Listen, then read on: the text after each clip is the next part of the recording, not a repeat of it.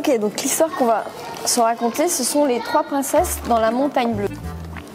Il était une fois un roi et une reine. Les années passèrent, les princesses grandirent et devinrent jolies et douées de tous les talents.